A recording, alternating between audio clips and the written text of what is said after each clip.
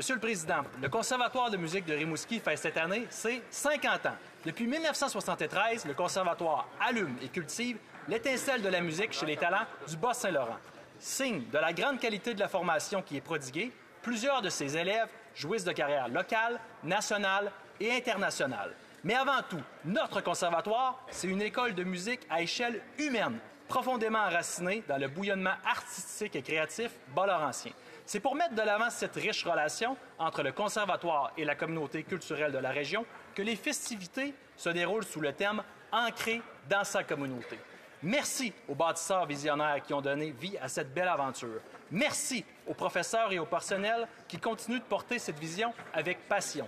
Et merci aux élèves passés et présents qui permettent au Bas-Saint-Laurent de rayonner au Québec et dans le monde. Longue vie au Conservatoire de musique de Rimouski.